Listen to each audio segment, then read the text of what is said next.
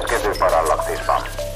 A tudományos fantasztikus filmek története párhuzamosan fejlődött a mozgóképipar egészével, bár több évtized telt el, mire a műfajt komolyan vették. Gyakorlatilag a 60-as évekig kellett várni, hogy a nagy költségvetésű grandiózus science fictionnek sikerüljön megszerettetnie magát a nagy közönséggel, de persze ma már a filmipar rendszeresen készít hol jobb, hol rosszabb filmeket a műfajban.